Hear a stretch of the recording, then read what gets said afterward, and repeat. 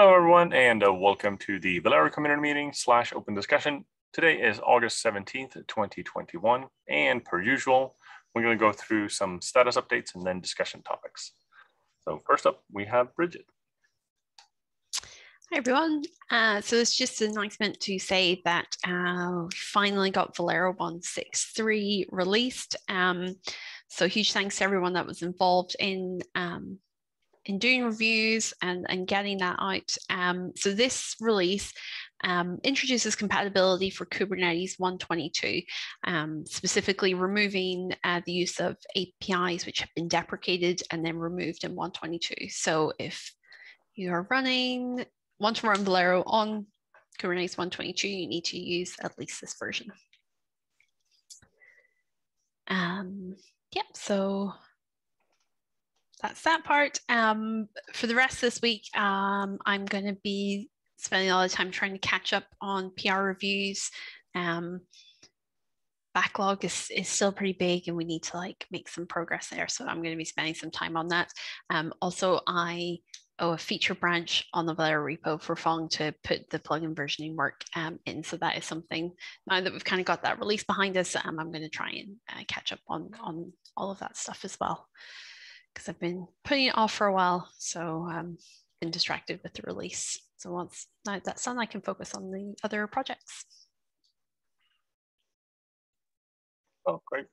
Any uh, questions for Bridget? Any questions on uh, 163?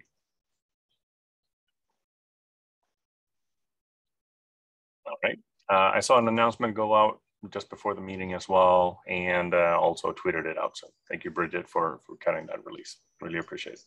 Uh, no problem. Huge thanks to Genting and Scott and um, uh, Sean as well, finding lots of issues. Scott discovered something right before we were due to like cut the release. So that was another thing we had to fix. So huge thanks Sam and Sean for uh, um, providing help there to help us get that issue fixed.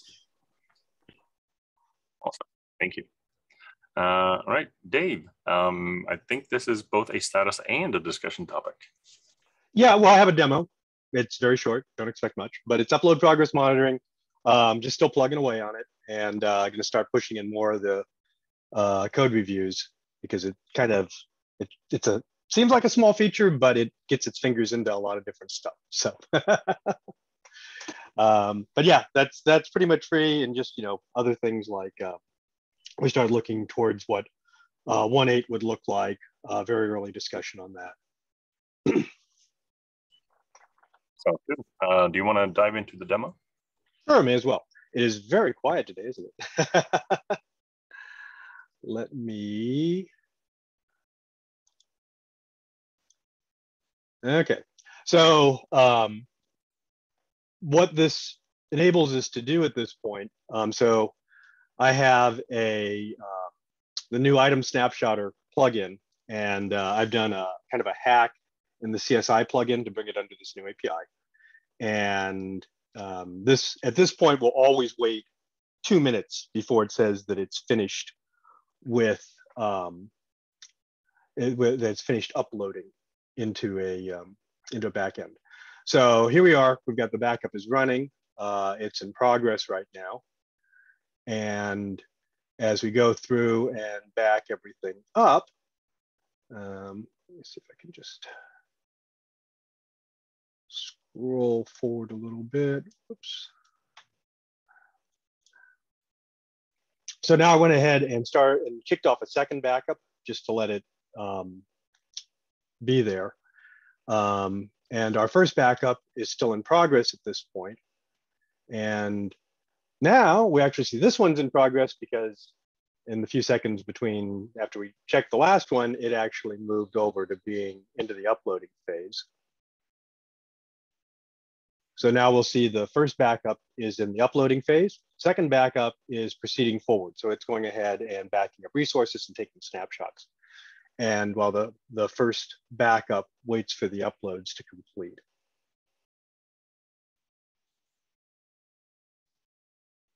And from here on out, it's pretty much waiting for the paint to dry. See if we can scroll forward. And so now the first one is completed and we can show Um, so the other thing that's happening in here is uh, the item snapshots are part of the backup. So they're being shown properly. So this will fix up our issue with like the vSphere plugin right now where the vSphere plugins don't become uh, separate things in the backup. So as we move it to item snapshotter, it'll continue to be here and uh, we'll fix up the, uh, the display. And then here's the, uh, the second uh, backup is continuing at this point. So it's in the uploading phase and eventually it completes as well. And it has its own set of snapshots. So that's it for demo day today.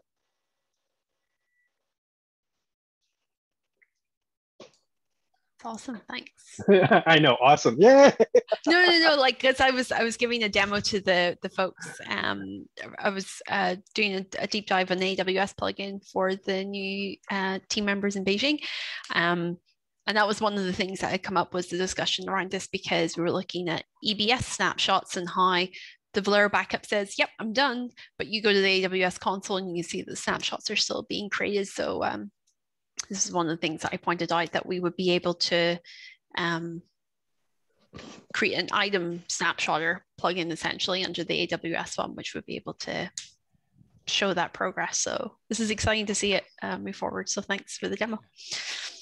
Yeah, thanks. Um, yeah, so that'll that'll clean up some of that stuff, and then that poises us towards uh, moving towards the Astrolabe APIs internally, and also getting the data movement stuff pulled up into Velero so that we can move things out of um, snapshots. Yeah. So the so the, that issue that was just mentioned with the snapshots, um, not you know, AWS snapshot saying it's done, but it's not really done yet. Um, that, I know that was an issue came up in discussion at least a year or so ago now. I know we ended up putting something in place in our fork on the Konveyor side and then but there was some issues with the way it was implemented so you guys didn't didn't like it that way and sounds like that may not be needed anymore once this is kind of finally worked out. That would be the goal. So if there's yep. anything different that you need in here um, you know yeah. kick it in. Um, i'll put the item snapshotter apis and code in uh, today or tomorrow for review. Um, so i'm going to also roll in the uh, the context into the item snapshotter so that we can push timeouts down. Um, and I guess for the versioning, I should put these under a V1 directory, and then we'll be in the proper place for versioning as we move forward. Yeah, I think so.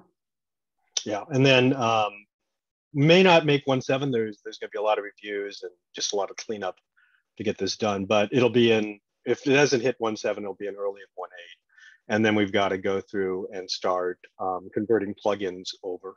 So the existing plugins continue to work, but my goal is to get all as all of our existing plugins moved under this item snapshotter as soon as we can. Um, and then we can get rid of these issues like AWS, vSphere. I'm sure there's other places. OpenEBS probably has this problem. Yeah, I, I know when I ran into this, it was definitely an issue for AWS and vSphere, and I think GCP as well. Those are the three plugins we work with. And I ended up putting in, in our fork similar code in place to sort of wait for that to be done, but it was on the backup side. And so this, this, is, this is a cleaner approach. Once that's in place, we should be able to basically abandon our local commits there to do that, it sounds like. Yeah, that'll be cool. And then we can get this all unified together. And um, eventually we'll have, so right now the, the uploading is, is strictly internal to the plugins, but there's no reason why it has to be. So as we move forward with like putting data movement into Velero, um, then you know it's pretty much the same thing. We took a snapshot. The snapshot uploading is in progress. You know, it may be because plugin's doing it, maybe because Velero is controlling it, whatever it is. That can all happen after the um, the backup proper has finished, and we can move on to take it to another one. Um, I'm considering um, if we should get some limits on the number of backups that we can have outstanding. Any um, any thoughts on that? I'm, I'm worried I'm going to wind up with like 30 backups on the uploading phase.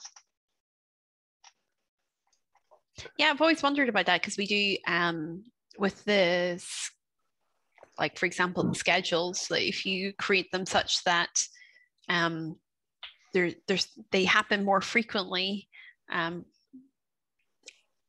but the time between each backup being triggered is is less than the amount of time it takes to do a backup. You can easily end up with like a backlog that continues to grow that Velero like won't be able to catch up with. Yeah, um, yeah. So that's that's uh, something we should consider here. Um, it's kind of hard to say because something like EBS, um, you know, you've got a huge amount of infrastructure behind EBS. So even if you're running ahead of EBS, it'll catch up sooner or later, and it pretty much guarantees things. Uh, the vSphere plugin, you know, that each each additional upload is taking system resources in the background, and it's eating out of a finite pool. And uh, you also run into issues like uh, the total number. Like, we don't put a hard limit, but the more vSphere snapshots we have outstanding, uh, it slows things down and also uh, the longer a snapshot is outstanding, the longer it takes to consolidate and merge it down when you delete it because all of the changes that happened after that snapshot have to get merged into the base underneath of it. So I don't know. It's, it's some some of it is like don't do that as well.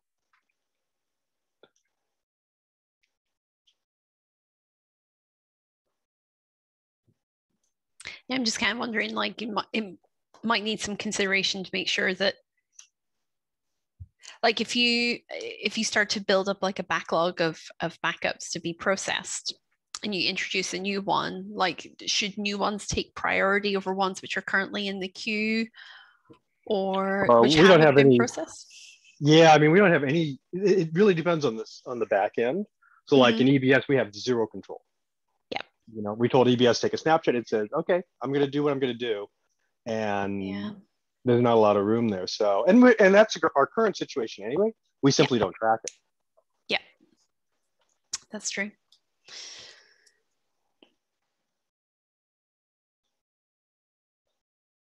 Yeah, good fun. Sooner or later, we're going to be an enterprise backup.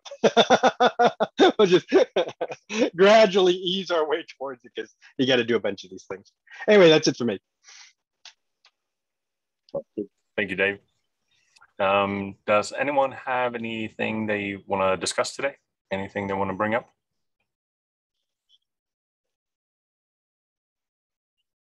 All right. Uh, then I'm going to dive into some contributor shoutouts. See here. All right. So we got three of these. The first one is from uh, Tiger Kaovilai, uh, software engineer at OpenShift, uh, who updated the IBM config.md. So documentation changes there, making sure that we properly handle IBM storage. Super nice. Thank you for that. Uh, then someone else maybe can talk about this one from uh, Lars Lehtonen. Yeah, I can uh, chat about this. Um, so Lars has actually gone through and made quite a few of these changes where there were a few um, like situations in Velero where we weren't checking the errors that were being returned from various function calls.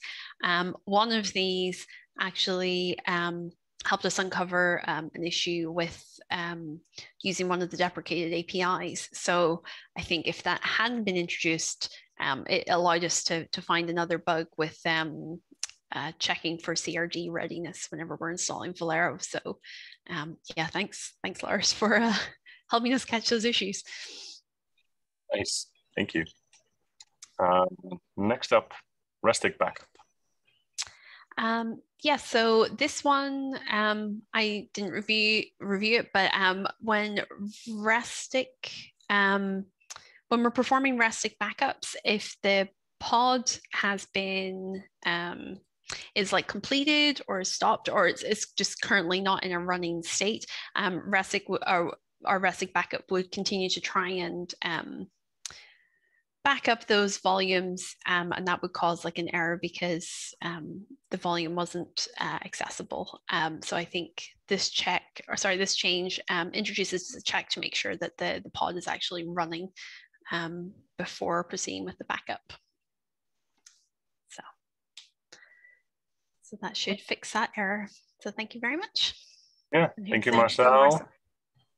Yeah, awesome. Uh, so with that, thank you everyone for joining. have a fantastic rest of the week. Oh, um, one small thing. Uh, so next week uh, we're we're doing a um, a community engagement health check for Velero. So I'll present uh, some of those results on the community meeting next week as well. Yeah, before we go, um, turnout seems extremely small. I mean, even for normal here. So did something go? Something happen with the invite or something? Should be fine, but I'll I'll double check for sure. Yeah. Okay. I, I was. Yeah, Eleanor usually shows, so um, I'll ping her and see what what happened. I think she she um sent message saying that she had another meeting that she had to attend and had to skip this one, unfortunately. But yes, she did know about it. So okay. It's also vacation time for a lot of people. Yeah, that's that true. sounds good. Speaking of which, I'll be out on vacation next week, so see you in Oh, two weeks. nice, nice. Enjoy, enjoy. Yeah, I can take my son to college. Awesome. Well, with that, have a fantastic rest of the week, folks. Talk to you next week. Thanks, everyone. Bye.